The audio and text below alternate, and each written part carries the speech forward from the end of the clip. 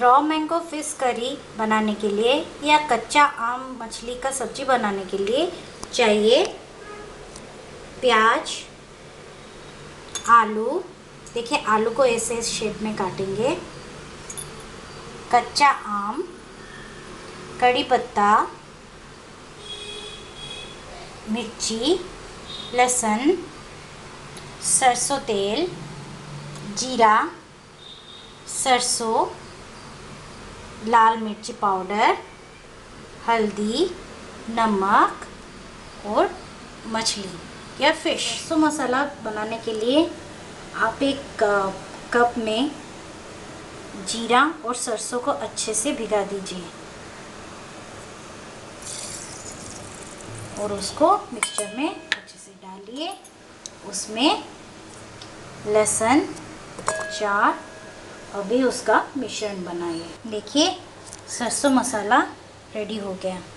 आप इसको सिलबट्टा से भी कर सकते हैं, और भी अच्छा होगा। देखिए, मैं रोहू मछली ली हूँ। उसमें एक स्पून हल्दी हाफ़ स्पून मिर्ची पाउडर और हाफ़ स्पून नमक दे के अच्छे से मिला दी। अभी उसको अच्छे से उसको ऐसे करके अच्छे से मिला दीजिए।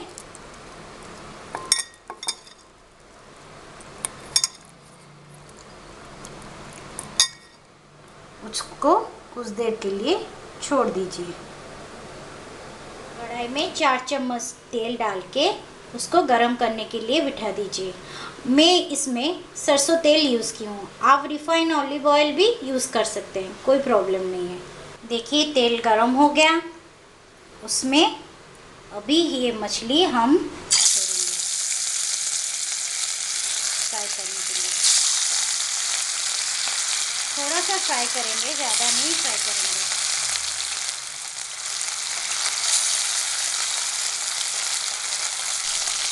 देखिए, एक साइड फ्राई हो गया।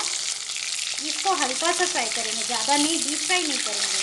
तो उसको आप दूसरे साइड टर्न कर दीजिए। अब हमेशा याद रखिए, मछली बनाने के टाइम में तेल गर्म होने के बाद ही आप मछली डालेंगे। अगर हल्का सा गर्म होगा और उसमें आप मछली डाल देंगे तो मछली नीचे से लग जाता है। और कभी भी आपका ऐसे लग गया तो क्या करेंगे? गैस को बंद कर देंगे। उसके बाद तेल ठंडा हो जाएगा, उसके बाद इसको टर्न करेंगे, वो आराम से टर्न हो जाएगा। देखिए, मछली फ्राई हो गया। पहले से मैं बताई थी इसको ज़्यादा नहीं फ्राई करेंगे, मीन्स डीप फ्राई नहीं करेंगे, हल्का सा फ्राई करेंगे। तो मैं अभी इसको प्लेट में निकाल दे रही हूँ। और उसी तेल में आलू थोड़ा फ्राई करने के लिए डाल दे रही हूँ। देखिए आलू फ्राई हो गया। अभी आलू को हम प्लेट में निकाल देंगे।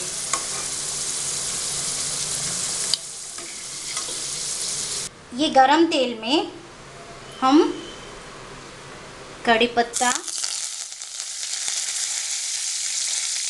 लहसुन, मिर्ची मिर्ची आप देख के डालेंगे, क्योंकि छोटे बच्चे अगर खा रहे हैं तो आप अवॉइड भी कर सकते हैं, कोई प्रॉब्लम नहीं है। जीरा वन पिंच वन पिंच सरसों डाल के थोड़ा सा फ्राई कीजिए। उसमें कटी हुई प्याज अभी डालिए। देखिए, प्याज का कलर ब्राउन हो गया। उसमें मैं आपको जो मसाला, सरसों मसाला दिखाई थी, उसमें आप दो स्पून डाल दीजिए। उसके साथ स्वाद अनुसार नमक,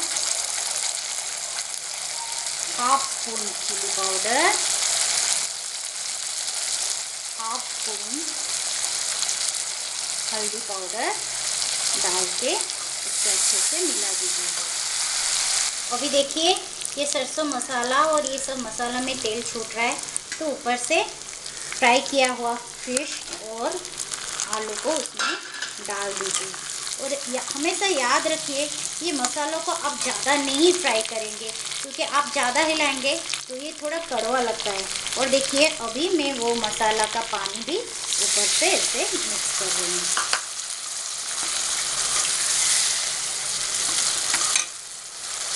और ऊपर से थोड़ा सा गर्म पानी देके उसको थोड़ी देर के लिए छोड़िए मछली का सब्ज़ी बन गया। अभी आप क्या करेंगे? ऐसे थोड़ा बॉयल आलू में, ऐसे देखेंगे आलू बॉयल हो गया या नहीं। अभी हमें पता चल गया कि आलू बॉयल हो गया। अभी ऊपर से अभी हम ये रॉ मैंगो ऐसे छोड़ देंगे। क्योंकि ये मैंगो का खट्टापन वजह से आलू बॉयल होना टफ हो जाता है। तो इसलिए हम इसको पहले ऐसे टेस्ट करके उसके बाद मैंगो डालेंगे। अभी देखिए, कच्चा आम भी अच्छे से बॉयल हो गया। अभी ऊपर से थोड़ा सा धनिया पत्ता डाल के हम गैस बंद कर देंगे। देखिए बन गया आपका रॉ मैंगो फ़िश करी या कच्चे आम मछली का सब्ज़ी। आप इसको खाइए, आप इसको रोटी, चावल के साथ खा सकते हैं। आप इसको खाइए और मेरे चैनल को सब्सक्राइब करना ना भूलिए। Thank you.